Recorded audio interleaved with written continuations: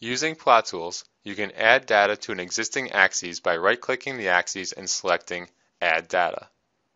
Since you plotted the French data against the year data, you should also plot the German data against the year data, so the x-axis scale is consistent.